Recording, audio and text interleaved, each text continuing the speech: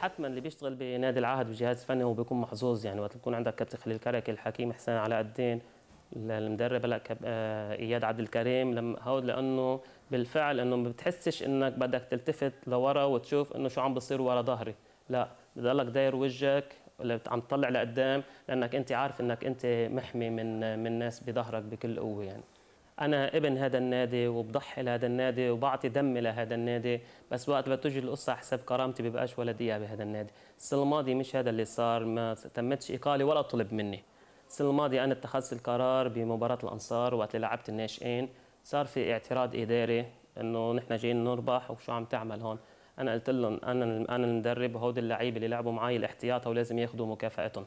لما شفت هذا هاي ردة الفعل فقلت أنا هي رح اوصل على محل أصطدم.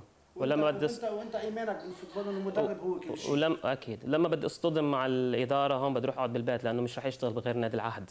يمكن لو الكابتن موسى كان مستمر وصبر وأكثر يمكن كان عمل يمكن هالنتيجة. يمكن المباريات اللي نحن تعادلناها اخاء وطرابلس يمكن كمان ما كناش تعادلناها يعني.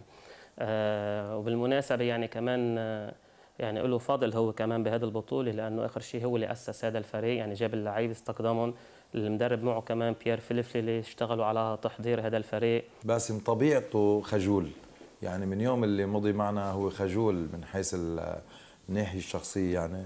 والتزامه الديني كان واضح من أول ما نشأ يعني. الحمد لله الأمور الله سبحانه وتعالى بحسب نواياه الصافية اعطاه آه، مسيرته كانت حافلة مع نادي العهد يعني خاصة بتتويجنا بأول لقب بسنة 2007 2008 موسم 2007 2008 إخلاص تفاني آه، بحبه لهذا النادي اللي نشأ فيه وترعرع فيه.